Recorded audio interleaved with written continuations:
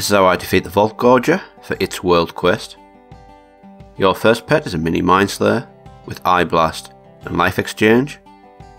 Your second pet is Iggy with Flock. Your final pet won't be used. Start with Life Exchange.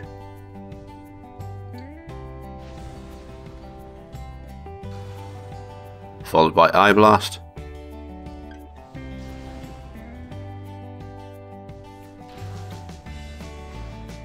And then pass until defeated. Should be 2. Once your Mindslayer is defeated, bring in Iggy. Just cast Flock.